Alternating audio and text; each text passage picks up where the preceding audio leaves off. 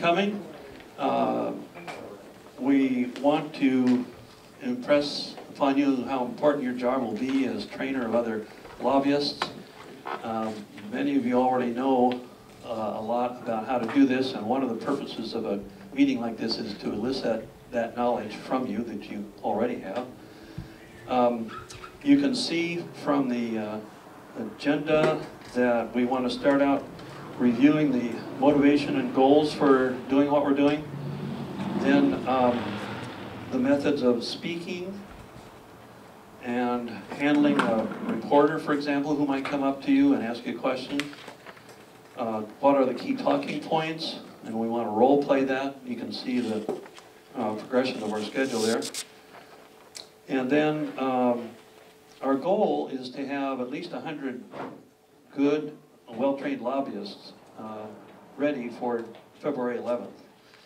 And so if there's, what, 20 of us, that means each of us needs to recruit about four people. Now, we're not represented geographically well yet here, so um, if you can get three or four people committed to come to lobby on uh, February 11th, that's a Wednesday, that's great, that would be our goal. And we'll have similar sessions in Ashland and La Grande, and we'll see if they can produce even more citizen lobbyists. Now, the term citizen lobbyist is being replaced because of the undocumented situation. Uh, We have to find that. We also have to decide whether we like the word lobby. And I think maybe it's up to us to uh, reframe that in a favorable sense. We are lobbyists. Then we will have a timer, and that is uh, Cliff Goldman. And You got he, eight minutes and sixteen seconds to go for this second. okay, he's telling me how much time I have left to, uh, to speak.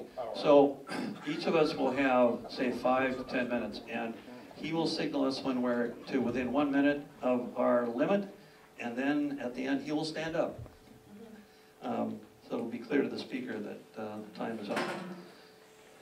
So mainly, we're going to have fun, though, and um, we want to come out uh, feeling energized and armed for our um, benign battles that we're going to uh, I'm, I'm. Cliff Goldman, it's great to be here, I, I, and I just want to welcome you all to the Healthcare for All Oregon meeting, and we, what do we want? We want single-payer, universal, publicly funded healthcare, is that right? Yes. Yes. That's right, okay, and when do we want it? Now.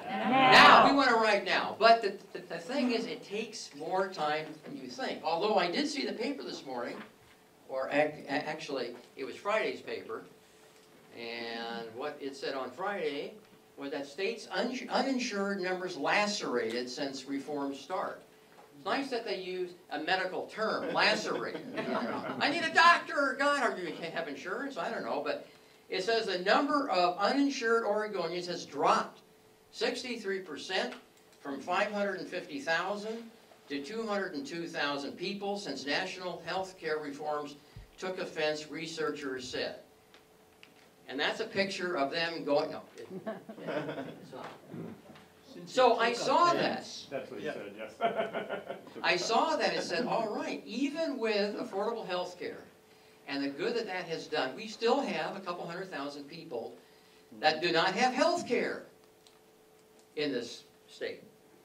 Well, you know, it's really not easy. Now, I first heard about this, at, as, as many of you did, at the Vermont Workers Meeting in, uh, in um, the, the December of of 2011 at Cascade PCC.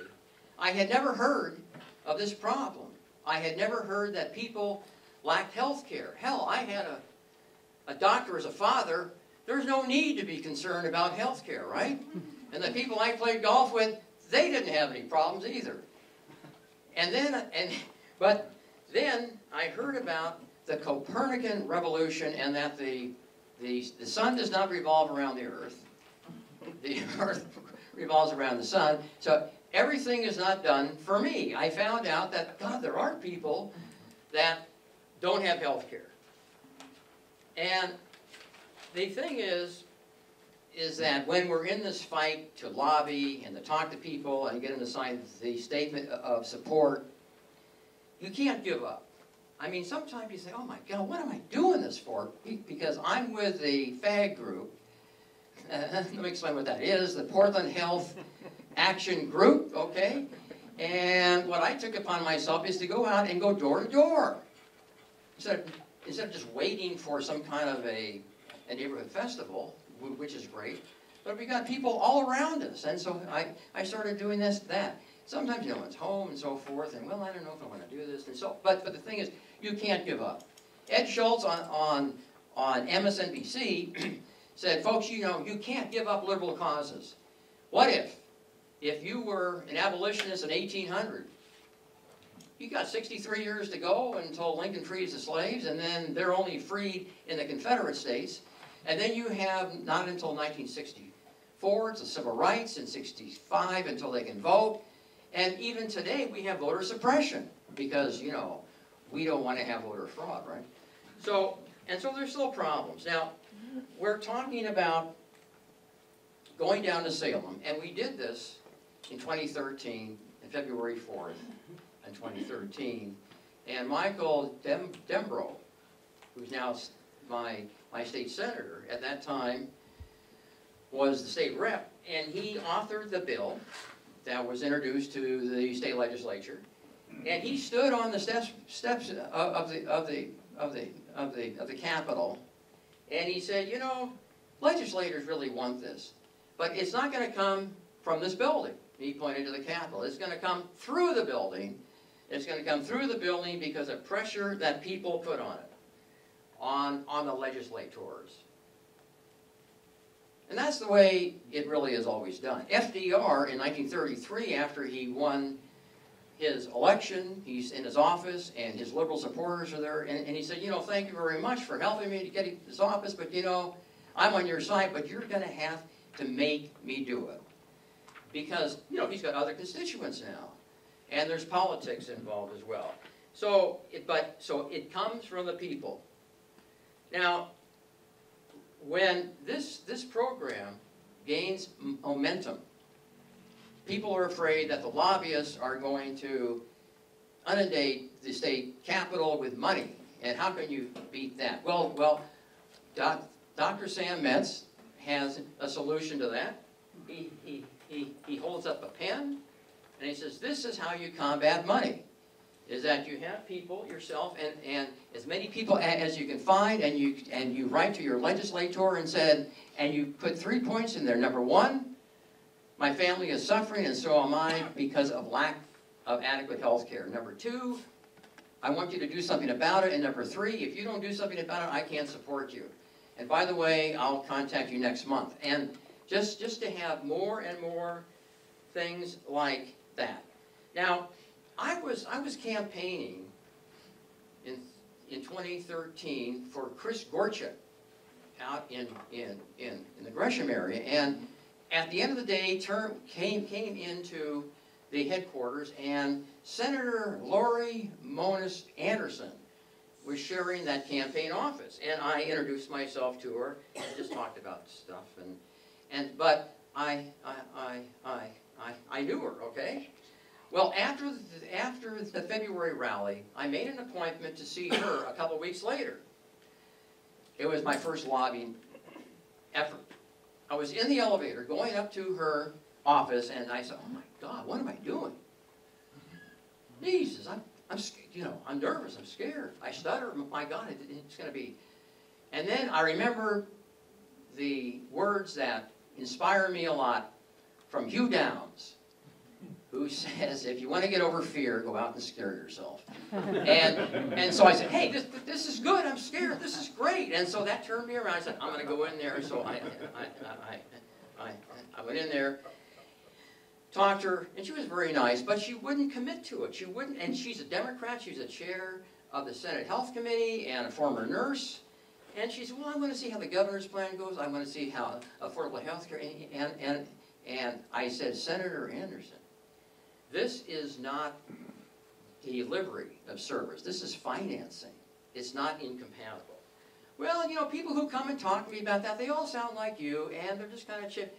That's right, we're chipping away. And she gets up eventually, a, a, a few minutes later. It was, it was really nice to see you, Clint. It was great to see you, Senator. And by the way, Senator, we're gonna keep chipping away. And she says, keep on chipping. I thought that was really pretty cool. I thought that was great. And, and as a matter of fact, tomorrow, on, yeah, tomorrow at three o'clock, there's gonna be a climate change march. And so people are finally fed up with kind of a tepid pr- pr- protestation against carbon fuels. And there's gonna be hundred thousand people in DC, and there's gonna be people throughout the country. And so the thing is, we've gotta keep chipping away, and finally, now, a while later, I ran into Dembrow. And I said, well, Mike, I just saw Senator Anderson. And she said, you know, he, he said, you know, I, I did too, and she just agreed to support the bill. I think you softened her up. Now, uh, maybe that's just bullshit, but I want to think that's really what happened, because what happened is that when you talk to someone, and even though they don't say, okay, I'm on your side, you're seeding them. It's, you're seeding them for something to happen later. I used to be in the insurance business long, long time ago, and, and people will say no, but the next agent that comes by will say yes, because we're all prospecting for each other, okay?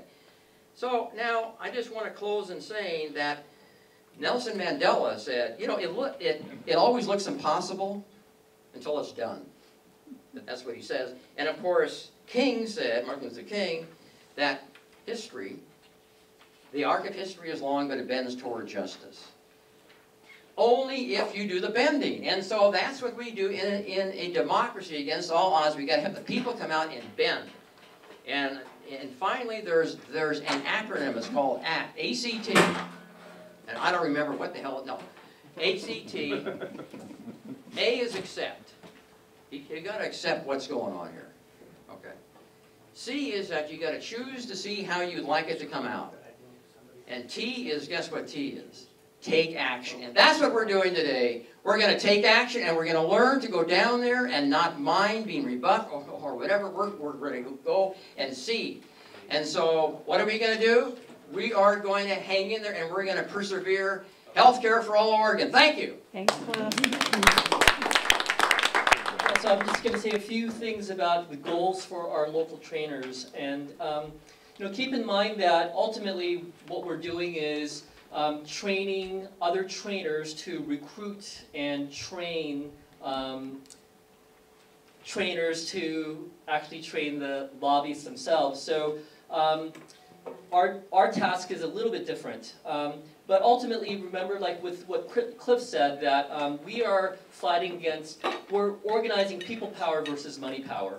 And um, we need to really make that clear when we're communicating with the trainers. And, um, and I think it's helpful for us to have consistent talking points um, for that um, and make sure that, you know, there's so many different issues. Our trainers don't have to cover everything, um, but being consistent with the most important talking points, I think will be helpful. At the same time, we should also think about um, recruiting specialized constituencies. For instance, um, I want to really recruit um, teachers and public um, education workers um, because we're, you know, we're um, 80,000 people organized through both AFT and OEA, and um, we suffer from budget issues all the time, and um, it's really difficult for um, our legislators to raise funds for schools that they want, which they want to do because they are afraid of raising taxes. But if we can argue that we can save money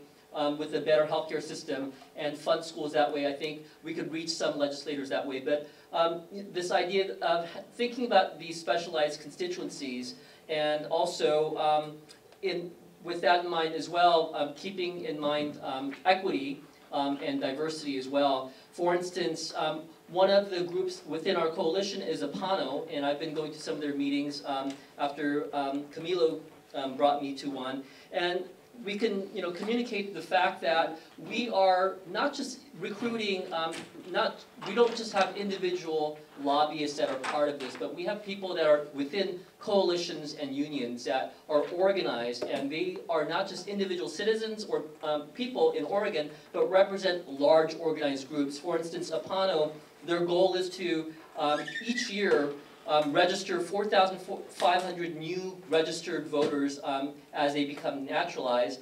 They have a goal of um, reaching 50,000 voters and translating um, their materials into seven different languages, um, and also making um, 2,000 personal calls in 11 different languages. So we have the ability to mobilize many different people in many different, um, different groups. And so, keeping that in mind, um, I think the important thing for us is to help build the trainers' confidence and um, keep them energetic to recruit um, more trainers and to sustain people within this movement. So that's all I have to say. Thanks, Jim. So now we're uh, going to Larry Stewart.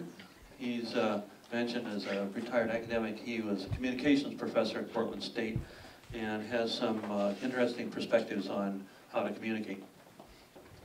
Uh, Do I need this? Yes. Yes. There's All right. people hard of hearing. All right, um, like me. Yeah. And you Okay, one I right got there. Um, Let's begin. Um, How many people here believe that uh, the United, universal health care is the best thing for this country? All right, no news there. Uh, good. Besides world peace? How many of you think it's inevitable? Uh, How many, how many of you can come up with a valid reason why we shouldn't have universal health care? Anyone? A valid reason why we should not have universal health care? You know, that's all good news, and I want to say that's our greatest strength. Uh, you mentioned we need to build confidence among the lobbyists. And the certainty in those points of view and the understanding that it's supported is, I think, our greatest strength, and that's where we need to come from. Uh, when we're talking to, uh, legislators, or anyone else for that matter, I think we can take, uh, confidence in the idea that what we, what we know is correct. And uh, giving that confidence, if there's somebody that thinks otherwise, when you talk to a legislator, for instance, if they don't agree with you, that's either because they don't know, they need the information, and I find that really hard to believe in this day and age, or they don't care, which is less difficult to believe. Uh, and maybe they're only interested in the next election, I don't know. But if you attribute the highest motives to your audience, as I think we ought to do, then you can ask their assistance. And this is a little different approach from what's listed here, but I don't think it's, it's antithetical to any of that. I don't, don't think it's negative, but we can ask them, help me, if you can, uh, why is it that, um, we're the only country in the world, uh, the only, um, uh, um, industrialized country in the world that doesn't enjoy universal health care. Are there any good reasons for that? I don't think you'll find any. Um, are there, um, I'm curious as, to know that, do you agree that, um, uh, there would be enough savings in universal health care to pay for the, not only the salary and fees of all physicians in the country, uh, but also their education and preventable health care? Um, is that something that you could support? Uh, and so on. Um,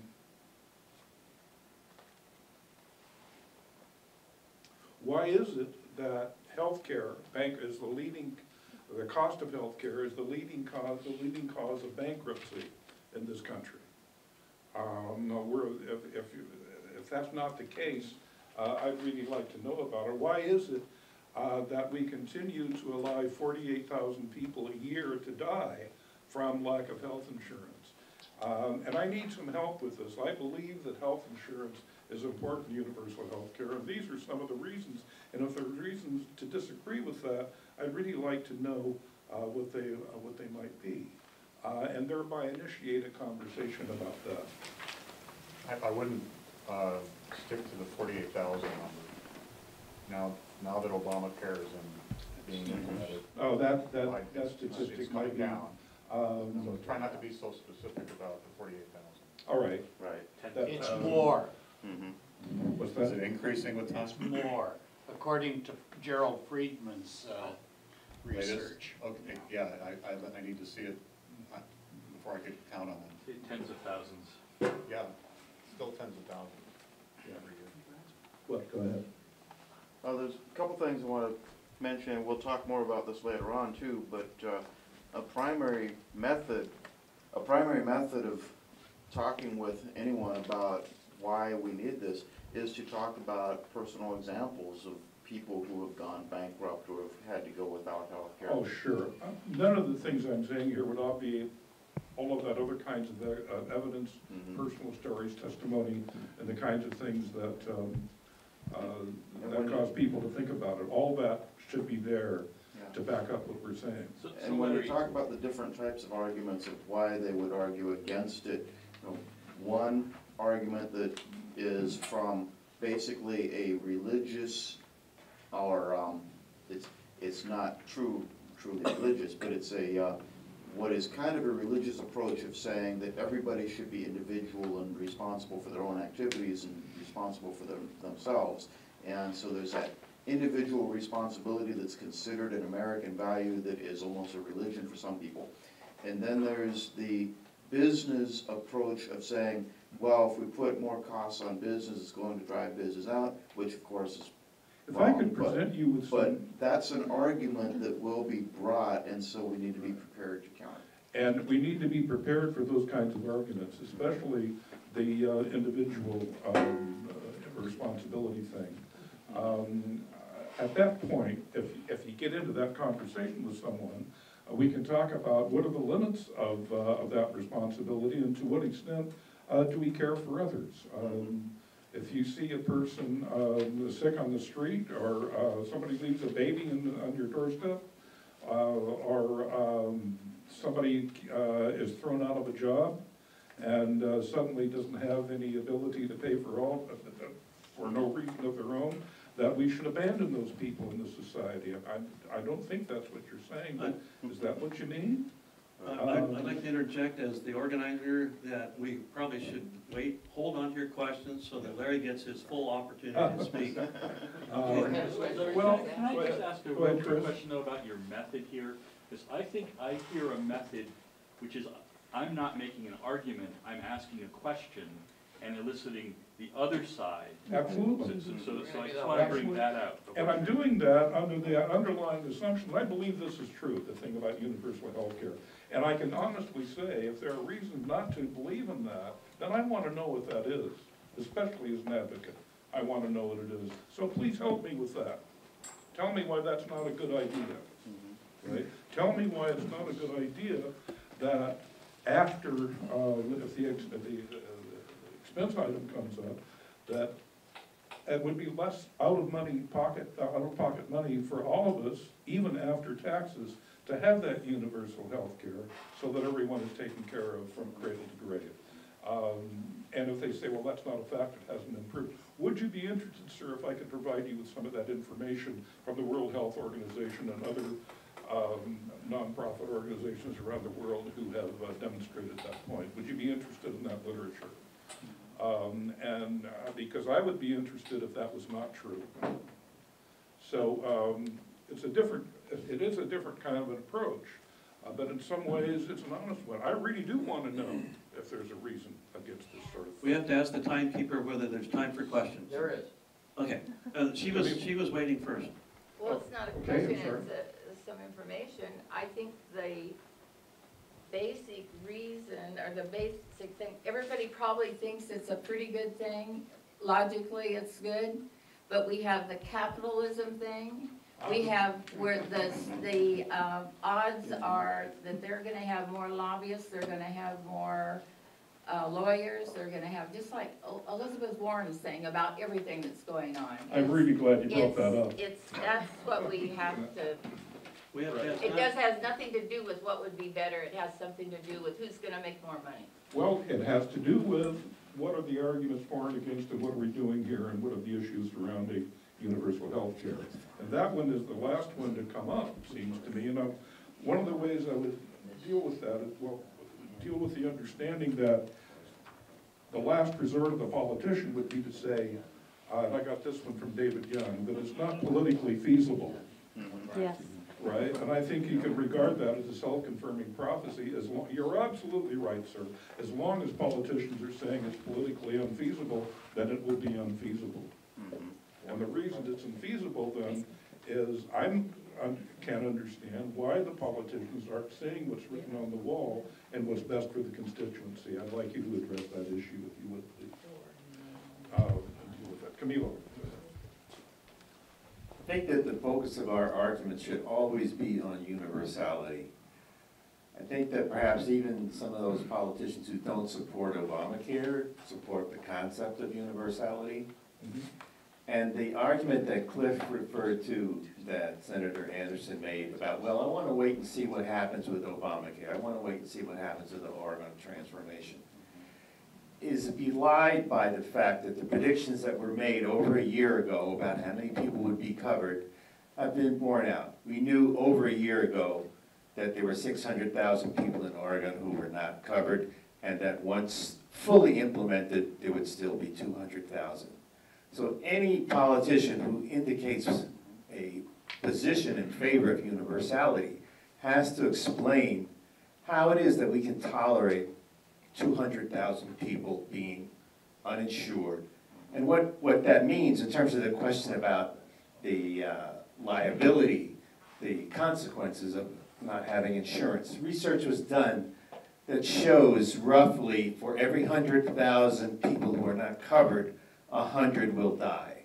And I think this is the, the reality that people have to confirm and explain why they can tolerate that situation. the more you can be that specific when things come up uh, about those issues, uh, then again, you can ask, uh, I'm, I would like to know how, how and why we should continue to tolerate that condition.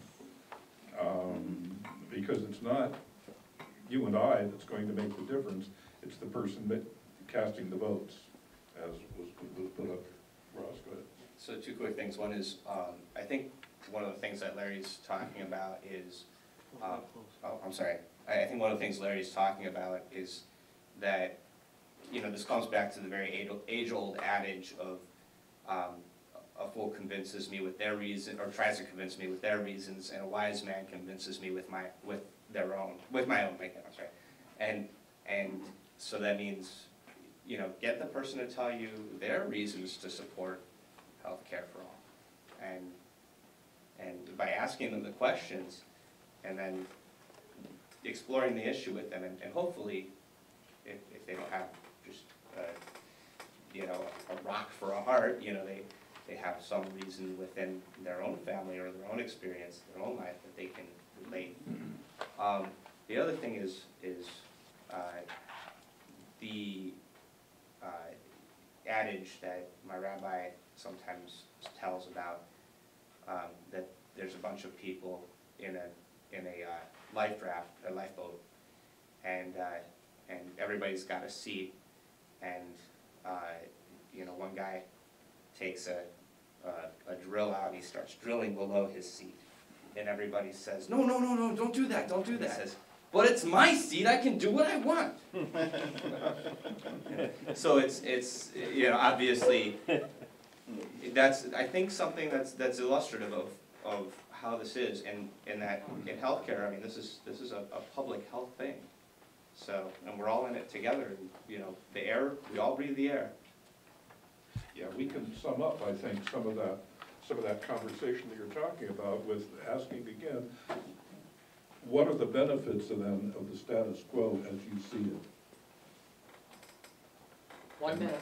What are the benefits of the status quo? If you're against universal health care, um, what are the benefits of that, um, over the advocacy for universal health care?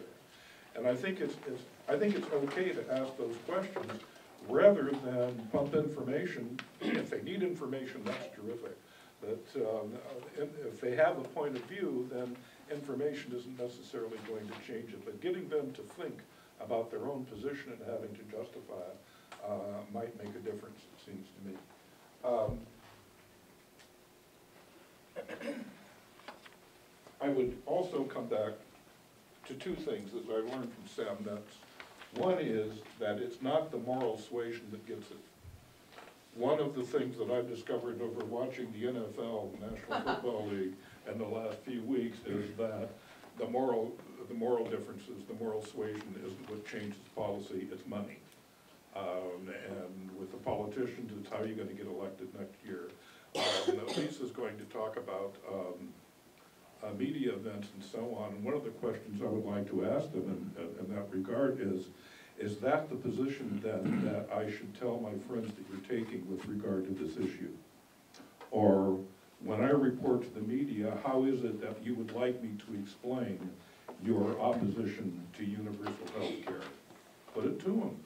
I mean, that's what they're about, and that's what we're for, and we're asking information, more information, we wanna know, uh, what the issues are. Um, I would also then come back to Stan Metz's, um, adage, and I think it should be our mantra.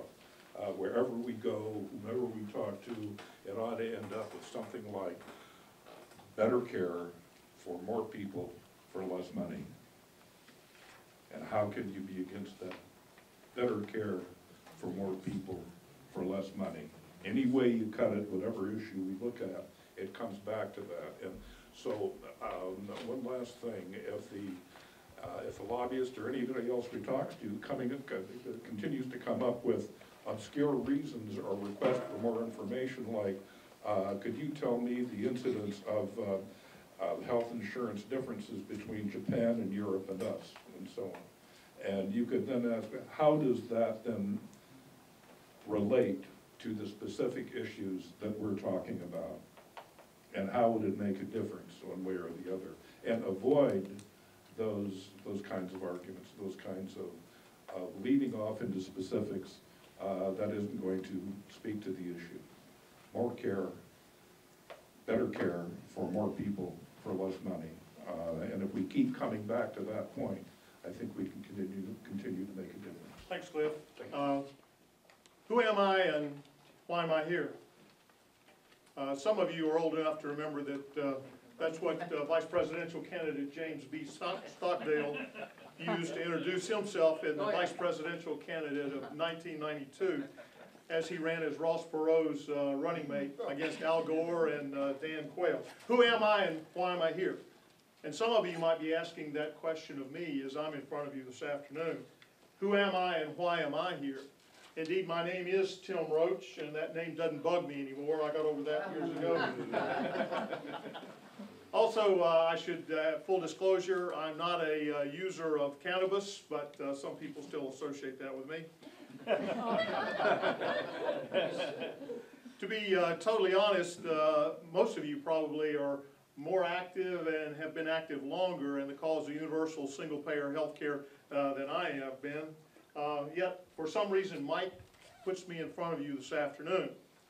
Now, I might be here because uh, for over 40 years I was a Presbyterian minister. Well, still am for that matter, but I'm retired. And I was a fairly active, uh, socially mindful minister, and so uh, I've made my share of pitches and a few legislative visits, so maybe that's why I'm in front of you this afternoon. Or it might be that I'm here this afternoon because of the passion that I have for universal, single-payer health care. My passion was uh, there naturally as a part of my Christian concern, but uh, it also has been there, if I can get my sheet right, to make sure I'm following my script. Yeah, my passion has been there personally as uh, I journeyed as a minister with individuals and families over the years as they experienced their own healthcare crisis and journeyed into our healthcare system. But I have to tell you that my personal passion was given a tremendous boost in 2013 after I spent four consecutive months just a few blocks over the way at OHSU with my wife as she did battle with myelodysplastic syndrome and ultimately succumbed to that disease. Having experienced the trauma and the hospitalization and the death of a loved one, as a member of my own family or as a loved one member of my congregation, I can attest to the fact that uh, it's totally different when you walk that walk with someone you care for. A passion can be born, and that passion was born in me. And so, almost a year ago to the day, I became active in the cause of universal single-payer health care as I joined HCAO and became a part of Mike's traveling troupe. But I have to tell you, I worry about individuals and families and communities and indeed our country when we allow a healthcare crisis to be compounded by a financial calamity and an emotional strain like none other you would ever experience in your life.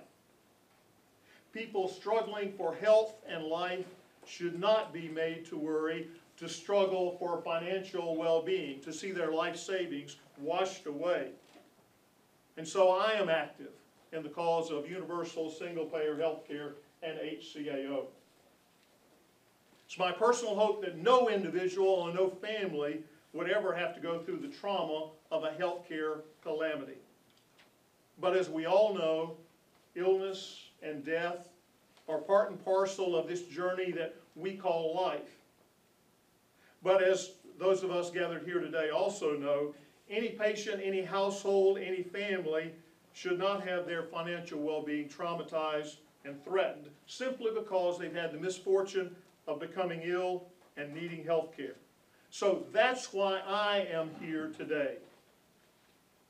Why are you here? If you don't have an answer to that simple question, why are you here? I encourage you to get one, and get one very quickly. Know who you are and why you are involved in the cause of universal single-payer health care, and be able to communicate that in a crisp, concise way to whoever you talk to. You see, it's one thing to let them know what your message is. It's another thing to let them know who you are as the person behind that message. Because I think that really is what drives home the message with whomever you're speaking to. Something like a sixth of our nation's economy is the healthcare system. We're going to be up, indeed we already are, up against the quintessential example of big business. And the power we have to combat the money and the resources of that big business is the power of our story and our person. So I encourage us all to develop that story, to know your identity, and to be able to communicate that. So one thing, if you are doing this with a faith group, and a specific faith group, one suggestion would be, I think Tim did this, um, for the Presbyterians, is find out your faith groups, um, your mission statement or statement on healthcare, and start with that. And put, insert that where Tim inserted it, and make sure that that's loud and clear, because you could, you know, use that to uh, put your other comments on. Very good, okay. Thirty seconds. I want to reflect on a number of things that have been said.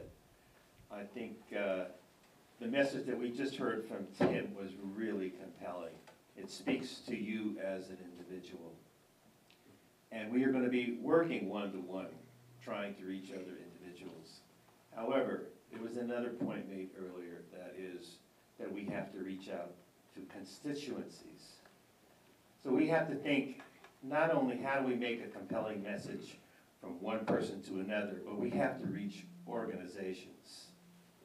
We know, as Cliff pointed out, that we have to convince the legislature.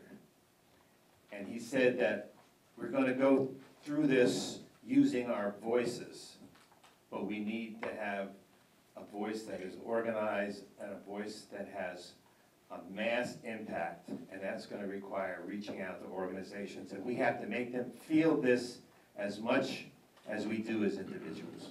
Well, right after the, the February fourth lobbying effort, I was thinking, you know, it'd really be great to talk to a conservative. I try to avoid them, but but I said, oh, okay, a Republican. They, let's, let's find a Republican brain out there, okay? So I found the most, I think, at, at least this is what people told me, one of the most conservative legislators, Jim, Jim, Jim Weidner, who represents House District twenty-four. So I called his office and I said, I'd like to speak to the, to, to the state rep. May I make an appointment? Well, he's really booked, but I'll tell you what, he's got a little bit of time in between meetings.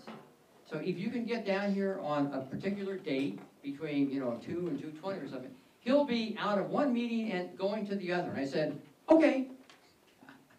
So I'm just saying this because you gotta be a little bit flexible and you never know how it's gonna come about. So I, I, I got down there, I went up to his office and introduced myself to the, his, his representative, and he said, yeah, you have a seat there. He should be here. And by God, a couple minutes later, he walked up and I said, Representative Weidner, I'm Cliff Goldman. I'd like to talk to you. I tried to get an appointment, but I'm just gonna have to, to, I'm, I'm just gonna have to catch you. And he said, walk with me. Is this God or something? Walk with me. Oh, oh, okay. He's going to a meeting. And so I said, yeah, Cliff Goldman, uh, Health, Healthcare for All Oregon, and we want to get a, da, da, da. And so he said, well, you, you know, Europe's really having a hard time with this. And if you're an employer, you've got all kinds of problems and people who don't want to work, da, da, da, da. And so the, the, the, the, door was coming to where he was gonna dodge into. And about fifty more, fifty, fifty, in about fifty to hundred more feet. Even though I, even though there was an increase of stuttering, I did, I did manage to say, oh, you're a business owner? He said, yes, I am. Well, well, wouldn't it be great if your next negotiation, you wouldn't even have to deal with their health care? Imagine that. You don't even have to talk about that. And he goes, okay, bye-bye. And then, and then he went into his meeting. And now, I noticed later that he, he voted against the bill. But, but, uh, that's okay, because there, be- because I, there, I I seeded something there. And, and by the way, you're not gonna get everyone on your side. But fortunately, most people in the state are for this idea. But it was fun to do that, and there may have been a little jolt there. Well, gee, I guess there is, is something. And there is a handout there. I, I have, have, have about a minute to go here. I, I think I can, I can do that. They take two minutes to find out what my time, I, I, I got a minute and forty seconds. If you had universal health care, you could remove business owners from the healthcare management business. And that's what I think he kind of, yeah. Keep healthcare costs predictable, keep employees full and part-time healthy and productive. I can't come in today, I'm not feeling well. I'll be going to the doctor, I can't, I couldn't afford one, okay. Provide employees with, with competitive health care benefits, keep productive employees from seeking better benefits at another company assure health care independent of labor management negotiations. And that was the main thing, is that he didn't have to be bothered with this. His really great employee is not gonna ditch him because they can go to the dentist if they work for that guy. I mean, only in America can this happen. And so, it's a Representative Weidner, thank you for that experience. It was fun to seed you like a plane seeds a cloud. I'm still waiting for rain. Thank you very much. Okay, now, we're, we are done with that segment, yeah.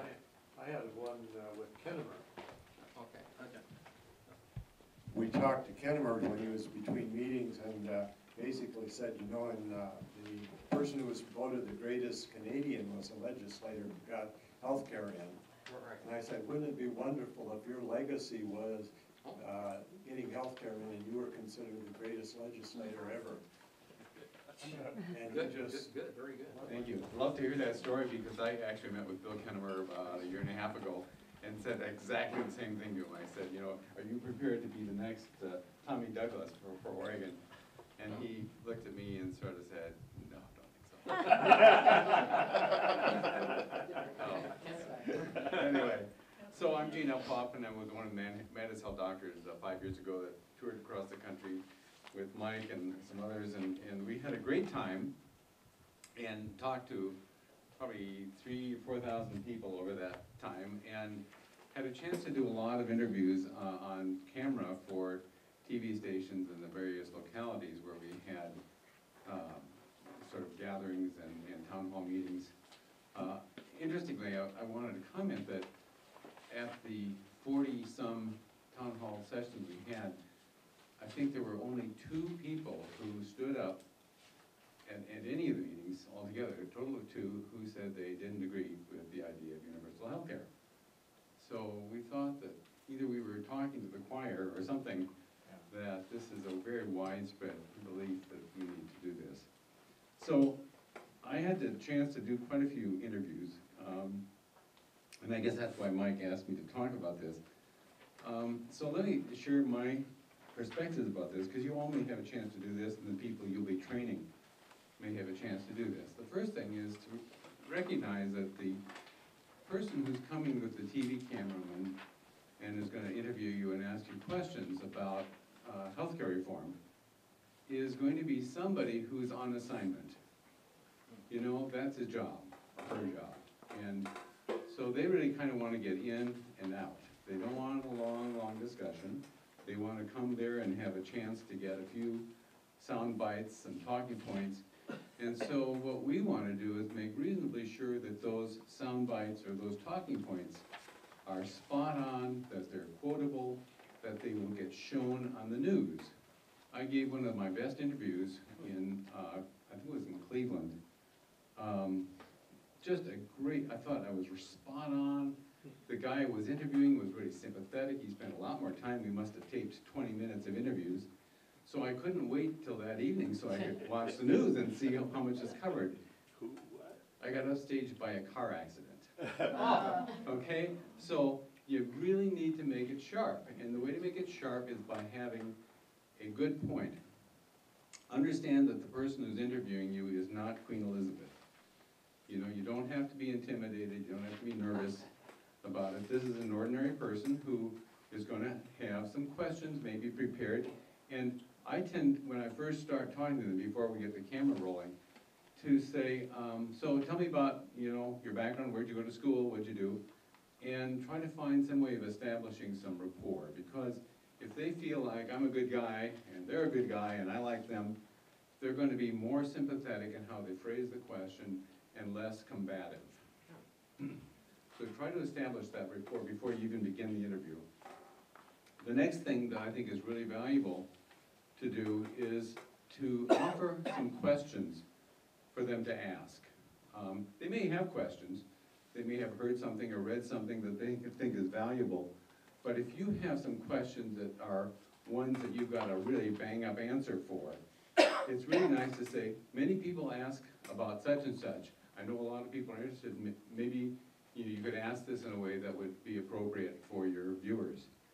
And in doing that, it sort of primes the pump, so that they're ready to ask the question as a sort of a softball pitch that makes it easier for you to say, oh, I'm really glad you asked this, because here's how I feel about it. Um, the final thing I would say is don't be intimidated by the need to kind of give the whole history of healthcare reform. You know, they're gonna wanna have a minute or two at most of sound bites. And so it's best to limit yourself to one or maybe two, rarely three, uh, points that you wanna make. You can talk about factual stuff, like, you know, how many, uh, women die in childbirth in the United States compared to Canada. Um, and that will have a, a certain viewer audience. You can talk about the cost and the budget, because heaven knows everybody's worried about taxes and the cost and the budget. You can talk about moral issues. I think moral issues are very appropriate. Oftentimes, when I was talking with people, uh, outside of the camera, I would say, you know, as a physician, I really believe my duty is to take care of my patients, and I think everybody deserves to have health care. And I think it's a human right, and I think that's the reason why we should have universal health care. But if you don't believe that, if you don't believe in universal health care and you think other people should be responsible, then let's just talk about the finances. Let's talk about the cost. And it's gonna cost a lot less for me to spend ten dollars a month on somebody's blood pressure medicine than to have them in the emergency room for ten minutes when they have their stroke.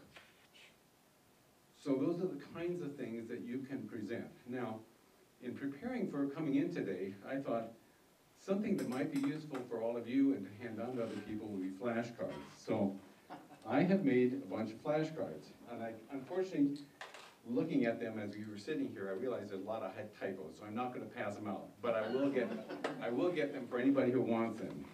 Um, and they come like this on a sheet, A2 sheet. One side is the question, socialized medicine, rationing, waste and inefficiency, taxes are already too high. What care would be covered, uh, why don't doctors support single payer, and so on. And on the back side is a short, terse, tight, soundbite kind of response. And so I will get these for anybody who wants them, and they can be reproduced. Yeah. But what it means is that you have ways of, of taking this, and so you go into practice, you can read this. Why don't, don't we have the world's best medical care system? Sadly, America ranks, ranks about thirty-sixth in the world in overall healthcare outcomes, trailing countries such as Cyprus, Morocco, Portugal, and Colombia.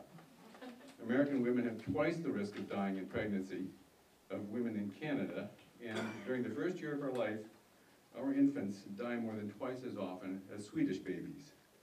Italians, in fact, live more than three years longer than we do. Short, to the point. So, so anyway, I'll, I'll quit there. Um, The media can also be, come at it from an oppositional point of view. So if you have that happen, be prepared. Come back to your talking points. I once had a, a, a, somebody ask one of my members when I worked for Acorn, isn't Acorn a communist organization? The guy went, uh, uh, uh, you know, and that's what they showed on the news that night. I swear to God, I, you know, that is what they showed on the news. So, had he said, well, you know, if, if you believe that asking for streetlights is communist, I guess, but, you know, we're just out here, we want streetlights, then that would have been coming back to our message and, and, you know, defeating his, his ridiculous. Several years ago, Regence Blue Cross Blue Shield was uh, requesting a twenty-two percent increase in its rates from the state insurance division. And there were a few people who got kind of outraged about it. How many people were at that demo? Uh, Chris was there? Anyway, uh, and, and it even pissed off the state insurance division. And for the first time in years, they decided to have a hearing on this rate request. So Jobs with Justice Healthcare had a rally at the uh, thing, and we went inside, and, and, and I was outraged. I wanted to tell the, uh, the insurance division about my outrage, and, but I didn't know what to say. I'm, I'm 30 years a nurse, and I, I didn't know what to say. I asked Margaret Butler, and we owe her a huge debt, by the way. Anyway, uh, she said, David, you're a nurse.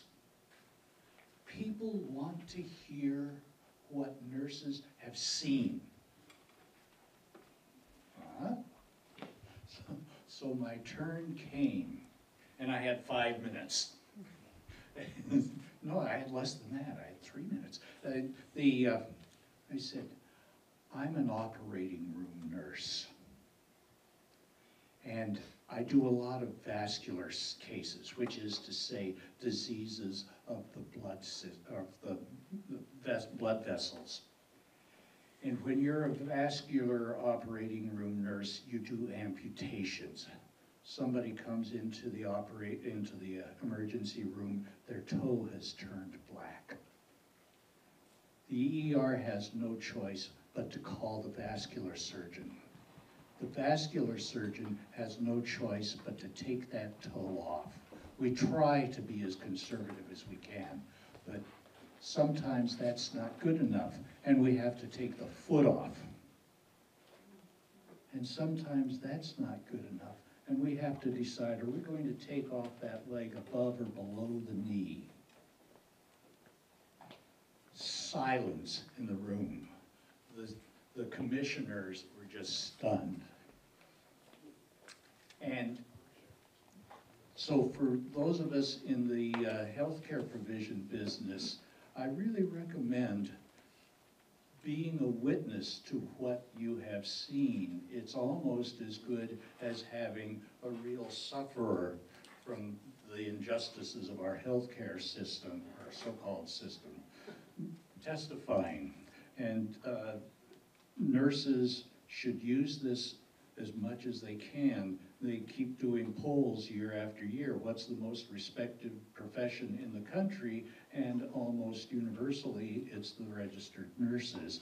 Uh, Shortly after 9/11, firefighters were number one, but we're back there again. So, and, and it's no accident that nurses are a huge part of the healthcare reform movement. I went to uh, a meeting of the labor campaign for single payer in DC three, four years ago. Twenty-two percent of the delegates were nurses.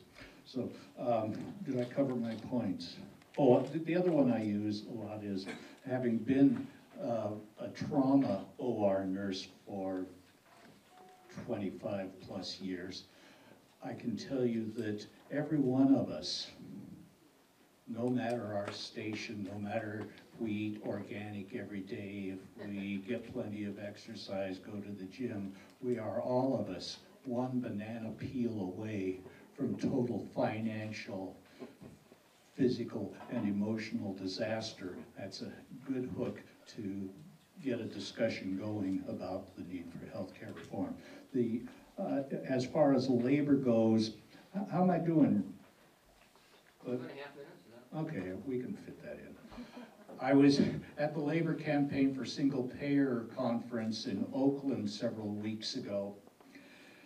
And I, and I was concerned about how to approach the uh, longshoremen here in Portland. So I asked the, our host down there, who was president of his longshore local, and he said it's very simple.